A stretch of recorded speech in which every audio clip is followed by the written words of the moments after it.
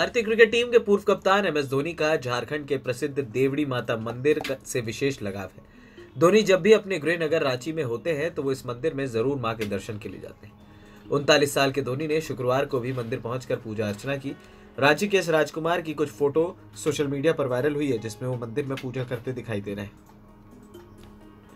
मंदिर में पहुँचने की खबर सुनते ही उनके फैंस अपने चहेते क्रिकेटर की एक झलक पाने के लिए वहाँ पहुँच गए। हालाँकि इस दौरान माही ने फैंस को निराश नहीं किया और उन्होंने अपने प्रशंसकों के साथ सेल्फी खिंचवाई। देवड़ी मंदिर, रांची, टाटा मार्ग पर स्थित है, जो कि काफ़ी प्रसिद्ध है। मंदिर के मुख्य पुजारी पंडित मनोज पांडा और पंडित नरसिंह पांडा ने धोनी की पूजा को शानदार तरीके से संपन्न किया। आपको बता दें कि आईसीसी के तीनों बड़े टूर्नामेंट अपने नाम करने वाले दुनिया के इकलौते कप्तान एम एस धोनी लगभग 25 मिनट तक मंदिर परिसर में रहे, जिस समय धोनी देवड़ी मंदिर पहुँचे थे, उस समय चप्पे चप्पे पर सुरक्षा कर्मी मौजूद थे। धोनी के आईपीएल के आगामी सीज़न के लिए जल्द प्रैक्टिस शुरू करने की उम्मीद है।